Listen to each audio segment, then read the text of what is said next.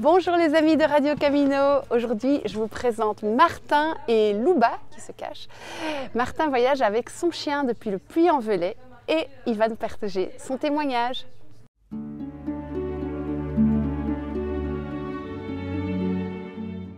Bonjour Martin, tu es sur le chemin depuis le Puy-en-Velay avec ton chien. Pourquoi es-tu parti avec ton chien sur le chemin de Compostelle? Euh, bah, C'est assez simple, ça. C'est parce que ben, moi j'avais l'envie de faire, faire faire le chemin. Et puis ben, comme je vis seul avec mon chien et que je voulais pas le mettre en chenille pendant trois mois, ben, voilà, je ne me, suis, je me suis pas posé la question en fait. Je l'ai pris avec et puis, euh, puis voilà. Qu'est-ce que tu as rencontré comme difficulté euh, par rapport à la marche avec le chien sur les étapes? Les difficultés, c'est la chaleur la, chaleur principalement. Et alors ben, le fait de ne pas pouvoir faire des, longues étapes, euh, de m'arrêter à 20 km maximum, de devoir respecter le fait euh, de ses pauses à lui. Lui, euh, il marche très bien pendant une heure, une heure et demie, et puis après il veut faire une pause, ce qui n'est pas forcément mon rythme à moi.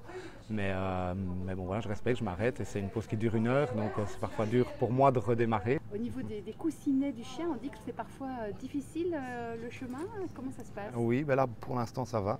je les ai beaucoup hydratés, j'ai mis de, de l'homéoplasmine déjà 5 semaines avant de partir, et puis j'en mets encore tous les jours. Et voilà, pour l'instant je touche du bois, il a pas de ils sont, ils sont bien durs, ils ne sont, pas, ils sont pas abîmés. Euh, voilà. Alors raconte-nous un petit peu tes, nuits, euh, comment ça se passe euh, de dormir sur le chemin avec un chien? Ben, Les nuits, c'est principalement enfin, du camping ou du, ou du bivouac. Et ben, voilà, c'est là où on trouve un, terrain, en général avec un point d'eau, c'est beaucoup plus facile. Et, et puis voilà, il n'y a, pas, a pas vraiment de contraintes. Enfin, le chien, c'est pas spécialement une contrainte par, rapport au, bivouac ou au camping. Euh, mhm. Et les auberges? J'ai pas, j'ai pas essayé. J'ai pas essayé. J'ai vraiment fait que du bivouac et du camping. Donc, euh. Tu disais quand même que Louba, à un moment, était fatigué du chemin. Qu'est-ce qui te motive maintenant à continuer sans, sans lui? Euh, ben Moi, j'ai envie d'aller jusqu'au bout. Euh, maintenant, j'ai pris la, décision que lui rentrait à la maison parce que, je vois bien qu'il en a marre. En fait, il, il marche derrière moi maintenant, alors qu'au début, il marchait devant. Euh, quand il se met devant moi, en général, c'est pour me bloquer la route. Donc, c'est clairement pour me faire comprendre qu'il en a marre.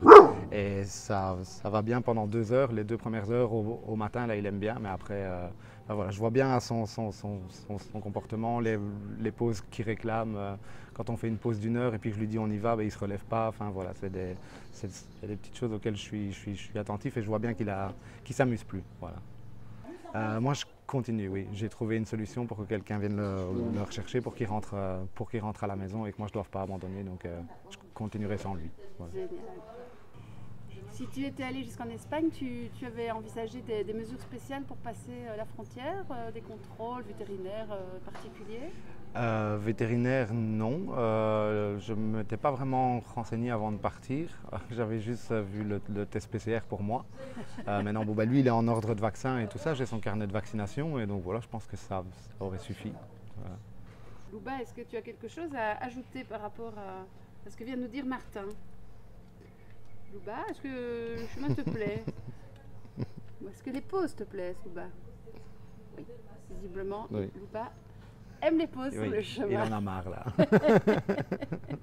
Merci pour ce témoignage Martin. Et puis bon chemin avec Louba et puis euh, bah, en pèlerin, euh, tout seul alors. Hein. Merci.